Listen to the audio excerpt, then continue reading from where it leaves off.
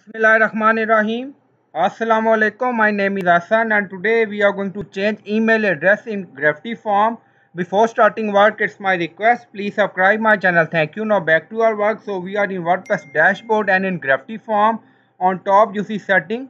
Hover on it, then you see notification. So click on it. So we are going to change email address. So notification is open and then click on admin notification. Click on edit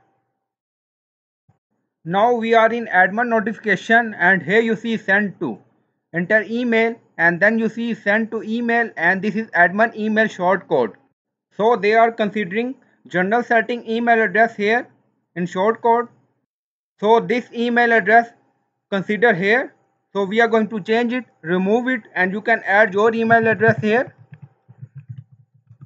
And also here you see from email so you can add your email here when user submit the form, after submission, all data goes to this email and then click on update notification. So in this way you can change email address in Gravity form. I hope you like this video. Please like, comment, share, subscribe. Thank you for watching.